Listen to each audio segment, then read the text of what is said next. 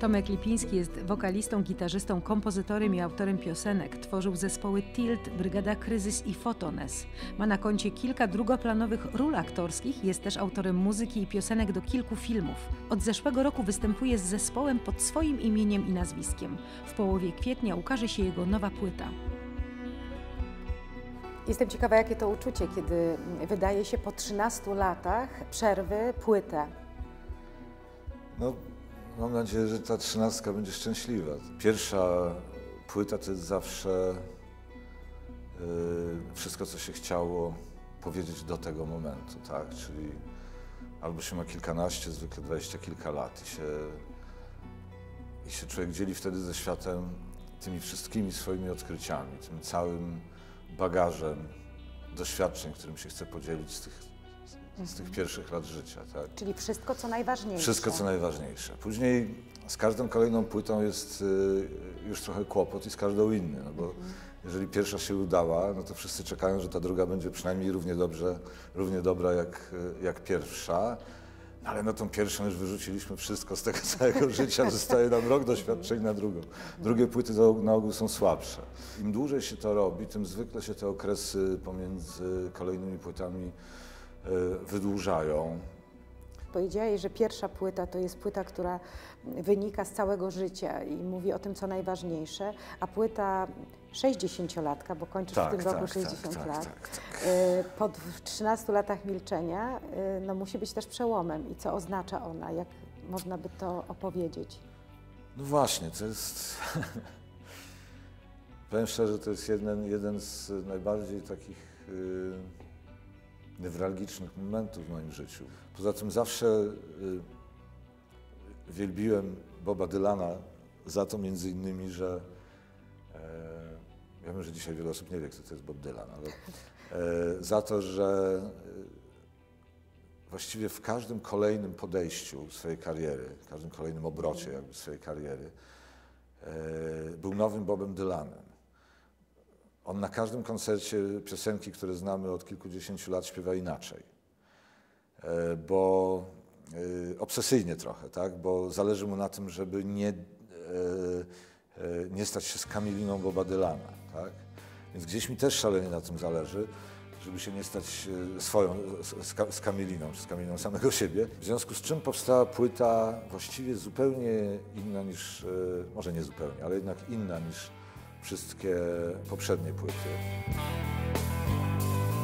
Dlaczego to ty tak często mi się śnisz?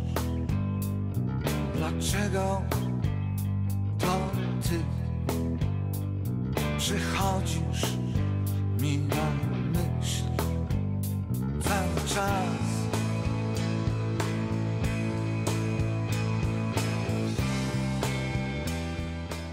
Miałem być y, artystą, m, malarzem, nie wiem, rysownikiem. No, grafikiem, plastykiem, jakoś, jakoś to się wydawało naturalne. No, tata, mama, e, siostra, no, przyrodnia wprawdzie, ale jednak e, dziadek. Właściwie, e, aczkolwiek dziadek był też muzykiem.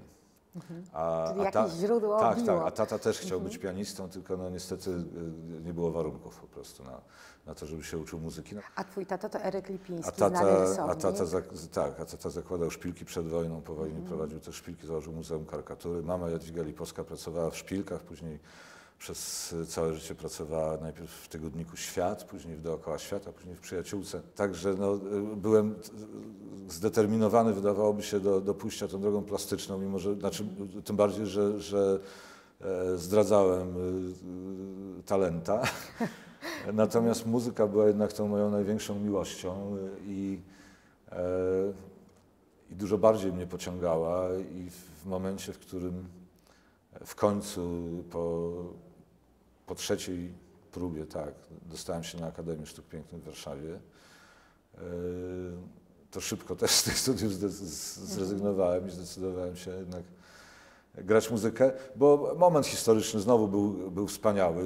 Znowu jakoś to się tak nałożyło e, interesujące na, na, na moje życie pod koniec tych lat 70., że, e, że pojawił się punk rock, że pojawiła się muzyka, która mniej przykładała wagę do perfekcji formalnej, że tak powiem, a, a bardziej do mm, jakiejś siły wyrazu, przekazu. Ja bym powiedziała siły rażenia. Siły bo, rażenia, tak. Bo wiesz, gdy dziś młodzi ludzie oglądają film Wałęsa, y, to mocniej przeżywają ścieżkę dźwiękową, piosenki z tamtych Aha. czasów. Chyba może niż sam film. W każdym razie myślę, że bez tego, y, bez tej obecności muzyki, która Tak. wtedy była też tak mocna, mm, to nie robiłoby dziś takiego wrażenia. Robiliście i opowiadaliście historię, zmienialiście świat i to... to... No właśnie to jest. To dzisiaj się tak mówi, tak? A, a, a wtedy to wyglądało trochę inaczej. Ja myślę, że jeżeli. my- To też oczywiście każdy mówi za siebie, ale, ale, ale kiedy, kiedy patrzę na to swoje najbliższe środowisko wtedy, to e, nam nie tyle chodziło o. albo nawet nie chodziło nam o zmianę świata, w sensie rewolucji czy, czy czegoś takiego.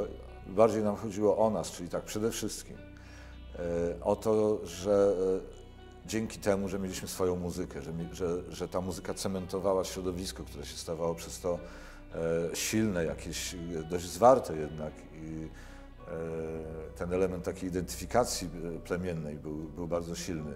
Ale właśnie poprzez muzykę to nam dawało takie poczucie wolności w tym absurdalnym, idiotycznym, schizofrenicznym świecie, w którym, w którym przyszło nam żyć wtedy. I Ale ta przestrzeń wolności to nie tylko była przestrzeń dla Was, artystów, ale Dla koncerty też, to tak. była w ogóle przestrzeń tak, wolności. artysta e, nie przychodził do odbiorcy poprzez media i całe mechanizmy rynkowe, tylko artysta był jednym z tych ludzi, którzy najpierw gdzieś tam łazili po ulicach, czy słuchali Tak. po domach jakiejś muzyki, czy, czy w klubach, e, a I okazało się, że ktoś jest po prostu bardziej, bardziej utalentowany muzycznie, to stawał na scenę, tam sobie dobierał innych podobnych i to byli ci ludzie, którzy jeszcze tydzień temu byli na koncercie innego zespołu wśród publiczności. To się tak działo i tak się działo na, na całym świecie. E, Ten, ten element do it yourself, to prawda, zrób to sam, E, czyli nie, nie ma idolizacji, tak, znaczy nie, nie czekamy na, na, na tych półbogów, prawda, medialnych, Tak. e, celebrytów współczesnych, tak, których nam e, e, na, na tych medialnych obłok, którzy na tych medialnych obłokach spływają, a my ich mamy wielbić, tylko po prostu spośród nas jedni są bardziej uzdolnieni muzycznie, inni plastycznie, inni mają łeb do interesów, dobrze kombinują, prawda, i, i zostają menażerami. To się w taki sposób odbywało. Oczywiście później ci, którzy zdecydowali się pozostać na tej, na tej drodze, załóżmy, i nadal uprawiać muzykę, szli na ogół swoją własną drogą, ponieważ, e, ponieważ cały, cała ta pierwsza eksplozja punk rocka była o e, indywidualności, o, o, o ekspresji własnej, o tym, że e, takim się jest i basta, tak? I właśnie pokazuje to, jak wam się nie podoba, to trudno. Nie powiedzieliśmy nic o tekstach Twoich przecież, bo to one trochę przełamywały tę taką ostrość punk rocka, bo tak naprawdę w dużym stopniu były liryczne, poza tym, że były zbuntowane. No właśnie, czy też czy były zbuntowane, się zastanawiam. Pierwsze teksty e, już e, z zespołem to były e, głównie teksty Jacka Lenartowicza, zwanego Lutrem, nieżyjącego już mojego przyjaciela z Gdańska, nastolatka jeszcze wówczas, który pisał e, i po polsku, i po angielsku. I myśmy zdecydowali się e, w pierwszym etapie swojej działalności śpiewać e, po angielsku. Właściwie chyba przez przekorę, dlatego że wówczas polskie radio, czyli jedyne radio w Polsce, nie puszczało polskich artystów wykonujących repertuar w języku angielskim. W rosyjskim tak, po niemieckim, po niemiecku być może, bo to jeszcze NRD, tak, natomiast, natomiast po angielsku nie. E, Zupełnie odwrotnie niż dzisiaj. Zupełnie odwrotnie niż dziś. Tak, to oczywiście miało jakieś tam ideologiczne swoje podłoże, więc yy, na przykład zespół Kryzys, który równolegle, właściwie trochę nawet wcześniej powstał, zespół Roberta Brylewskiego i, i, i Macieja Góralskiego i jeszcze tam paru kolegów. Yy, oni z kolei poszli zupełnie inną drogą i, i działali pod yy, starym hasłem, zresztą z, z przełomu lat 50. i 60. Polska młodzież śpiewa polskie piosenki, czyli jesteśmy grzeczni i robimy to, czego od nas oczekują. Myśmy poszli kompletnie, e, kompletnie w ogóle w drugą stronę i, e, i to dowodzi, że właściwie e, w ogóle nie mieliśmy na względzie jakiejś e, e, dającej się zaprogramować kariery e, muzycznej, bo robiliśmy wszystko e, odwrotnie. Wszystko tak? odwrotnie, Wszystko, tak. bo byliście częścią kontrkultury. Byliśmy częścią kontrkultury. Teksty same w sobie, gdyby je przetłumaczyć na polski, to właściwie też to była, to była poezja Jacka. Trochę tam było też moich tekstów. Tekst y, Fallen Fallen is Babylon, który później nagrałem z Brygadą Kryzys. Babylon inside me is projecting to the outside, tak? czyli Babylon we mnie wyświetla się na zewnątrz. Czy to jest tekst naw- nawołujący do rewolucji, do obalania systemu? No chyba tego systemu, który, który, który mamy wbudowany e, mentalnie w sobie raczej. Tak? Ale Więc- wtedy wszystko czytało się jak hasło do obalenia systemu. Może to tak było. No tak, tak, tak było, tak, ale też być może dzięki temu, że, że teksty te nie, nie ograniczały się do tego wymiaru, e, szczęśliwie przynajmniej niektóre z nich e, jakoś e, dożyły do, do dzisiejszego dnia i mówią, tak, że ciągle przemawiają. Przez pewien czas związany byłeś też z zespołem Izrael, a jak mówił tak. Bryleski, czytali wtedy namiętnie Pismo Święte, Tak, a Bryleski cytował tak. fragmenty milicjantom. Tak.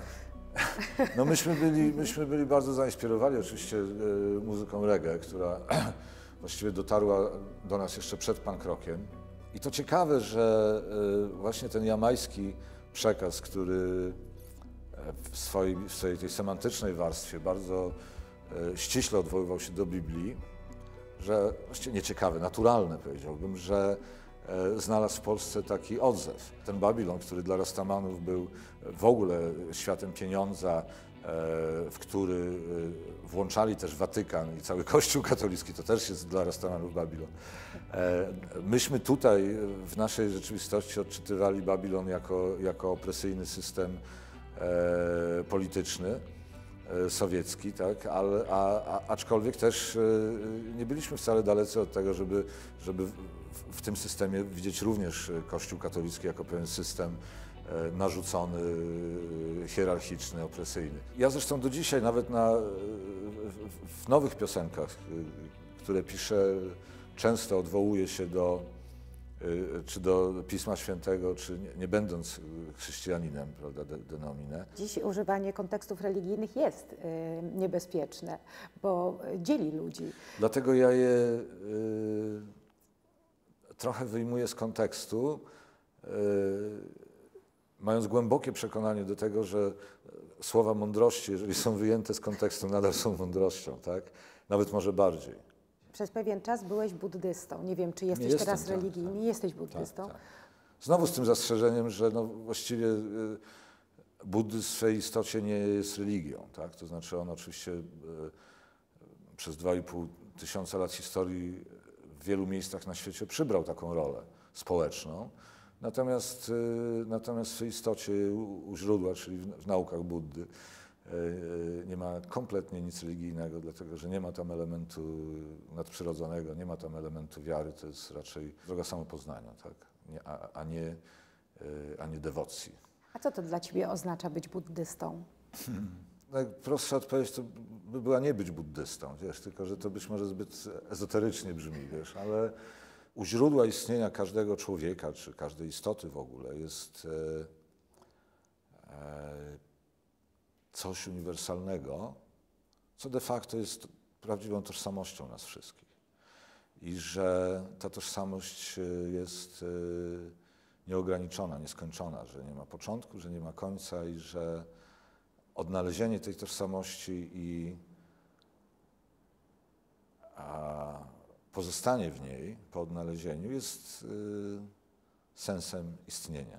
Koniec końców chodzi o, myślę, o takie uczucie, y, czy, czy doświadczenie, czy przeżycie, czy świadomość wolności, która płynie z tego, że no skoro naszą prawdziwą naturą, czy tożsamością, czy, czy naszym prawdziwym istnieniem jest coś, co nie ma początku, nie ma końca, co jest y, po prostu samą świadomością, co jest życiem, co jest tym wszystkim, o co cały, przez całe życie pytamy, czego przez całe życie szukamy, jesteśmy my sami, więc to jest, to jest wyzwalające. A dlaczego, jeśli mm, medytacja pozwala przekraczać tę świadomość ja, Tak. która nas ogranicza i Tak, łączyć się przez jakiś czas z tą nadświadomością, czy też tym wspólnym Tak, tak, duchem, tak. y, dlaczego nie może to się zdarzyć, nie wiem, w modlitwie Może, chrześcijanina? tak, absolutnie może. A No, dlaczego ty wybrałeś Nie, drogę może, buddyzmu? może, zdecydowanie. Mhm. E, tylko e, tak, oczywiście. Może i zresztą, zresztą gdyby Znaczy pytam, bo przekroczyłeś pewną kulturową normę, y, odnajdując w buddyzmie tę drogę. Tak. I czy to jest y, element kolejnego kontrkulturowego zachowania? argument. To Bardzo- Bardzo lubię ten argument, dlatego że w większości miejsc na świecie, gdzie dzisiaj niepodzielnie panuje chrześcijaństwo, gdzieś w którymś momencie historii e, ludzie, którzy przechodzili na chrześcijaństwo, prze, przekraczali kulturalną normę, tak? E, zawsze tak było. To się dzieje, To, to się, zawsze toczy. działo. To Mhm. nie, nie, to nie jest nowe zjawisko i, i nie ma w nim nic nadzwyczajnego. Dlaczego kilka lat temu przyznałeś się, że mm, cierpiałeś na depresję? Nie wiem, dlaczego to zrobiłem, ale, ale, ale na pewno bardzo wiele osób e, było mi za to wdzięcznych, ponieważ e, jest to dziwna i tajemnicza choroba. Etiologia, czyli pochodzenie, nie jest, e, nie jest znane, do której zrozumienia coraz bardziej się przybliżamy poprzez e, coraz lepsze poznawanie funkcjonowania mózgu. No mówi się, że serotonina y, nie tak jak No to wiadomo od dawna, tak, ale nie wiadomo dlaczego, ale nie wiadomo dlaczego jest problem właśnie z transportem serotoniny. E, krótko mówiąc, e, choroba ta polega na tym, że pewnego rodzaju impulsy nerwowe, e, e, czy jest pewna niedrożność po prostu systemu przekazywania impulsów, tak? E, sieć nie, nie przekazuje impulsów, co w doświadczeniu chorego sprawia, że e, przestaje doświadczać przyjemności. E, Nawet rzeczy przyjemne są nieprzyjemne, a rzeczy zwykłe są nieprzyjemne, być może jeszcze w jakimś nie- niewyobrażalnym stopniu. No Ja zawsze daję taki przykład. Trudno sobie człowiekowi zdrowemu, nawet w dole, nawet przygnębionemu wyobrazić, że e, słońce świecąc może na przykład e, sprawiać e, cierpienie nie do wytrzymania, tak? A, a, tego, tego, tego rodzaju rzeczy doświadczają chorzy na depresję. To ostatnio odkryto, że być może depresja jest w ogóle rodzajem alergicznego stanu zapalnego całego organizmu czy systemu nerwowego. A mówi się o epidemii teraz, tak? No, Że- mówi się, o, tak, to może być związane i z naszym trybem życia, i z tym, że mamy mały kontakt ze światem dziennym, e, że mamy zaburzone te cykle e, dzień-noc, tak?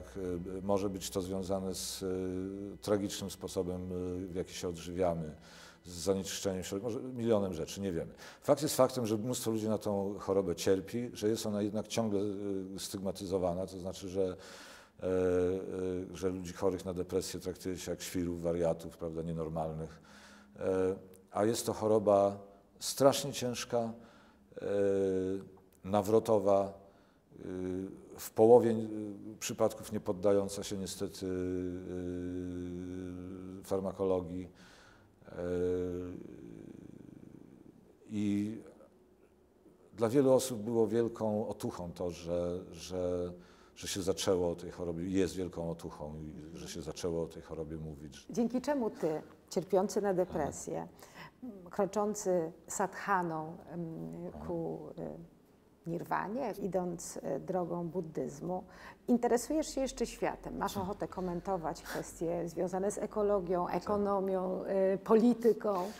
Wiesz, jest tak, że jak, mówisz o nirwanie, no nirwana, czyli ten, e, to co się e, często na zachodzie rozumie jako taki rodzaj buddyjskiego raju, którym, czy, czy jakiegoś takiego stanu, e, w którym e, znajdujemy się poza światem, w jakimś takim słodkim niebycie, prawda, coś takiego. Nic znowu bardziej mylnego, ponieważ nauki Buddy mówią wprost, nirvana to samsara, samsara to nirvana.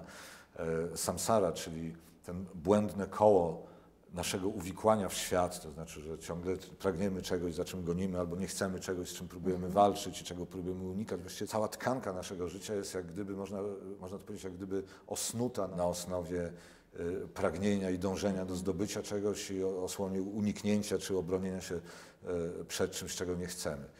Y, To jest błędne koło, bo to jest uwikłanie, z którego nigdy nie ma końca. Nigdy w tym zamkniętym kręgu nie znajdziemy y, trwałego szczęścia, wolności, y, ulgi tak naprawdę. Póki go nie takiego. przekroczymy. Dopóki nie uprzytomnimy sobie, że właśnie to, czyli to błędne koło, czyli samsara, jest tak naprawdę nirwaną, że nirwana nie jest ucieczką od samsary, odwróceniem się od niej nie chcę o tym wiedzieć, nie mam z tym nic wspólnego. Nie, tylko dojrzenie, że to, w co jesteśmy tak szalenie uwikłani, jest snem, jest rodzajem snu. To jest e, inny sposób e, patrzenia na rzeczywistość życia w niej. E, właśnie w, takim, w takiej postawie raczej nie, nie próbowania, wiesz, p- zatrzymania tego, co fajne i, i przyciągnięcia i tak dalej, i nie wal, walki z tym, co, co niefajne. Zobacz, w Nowym Testamencie y, Jezus mówi, nie sądźcie, y, byście nie byli sądzeni, bo jaką miarą sądzić będziecie, taką osądzeni y, y, będziecie. Y, y, Nauki Dzogchen, y, czy nauki Buddy, czy nauki Dzogchen specyficznie mówią o tym właśnie, żeby patrzeć na świat nie oceniając go, czyli nie sądząc, tak? I mieć, mieć rodzaj obojętności, która Nie nie, jest obojętności, rodzaj, dziwnym. rodzaj e, głębokiej, nieograniczonej neutralności. Ale to też nie jest neu, neu, neutralność, która każe ci stanąć poza e, nurtem wydarzeń, dlatego że, e, że one się dzieją i jako ta osoba, jako Tomek Lipiński, ciągle muszę jeść, żeby żyć, ciągle muszę e, chodzić do toalety, myć się, żeby nie cuchnąć i do dnia śmierci e, tak będzie, tak? A czasem wkurzać się światem. Sztuka polega na tym, żeby się e, wkurzyć i iść dalej. No, to jest największa sztuka, no, której nie, nie posiadłem niestety, ale kiedy coś się dzieje w naszym życiu, kiedy się denerwujemy. Jeżeli nie przegapimy pierwszego momentu, w którym wpadamy w złość, nawet to w słowach, w słowach, w języku tak jest oddane, kiedy widzimy, że wpadamy w złość, to jesteśmy w stanie w nią nie wpaść. Jeżeli przeoczymy ten moment, to w nią wpadamy, jest pozamiatane. I to, to jest buddhizm.